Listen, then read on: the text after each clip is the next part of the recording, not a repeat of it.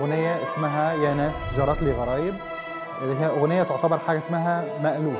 من أشهر اللي غنوه واللي جددوه في في النوع من الغناء ده هو الفنان القدير حمدي البناني. فرد لي نومي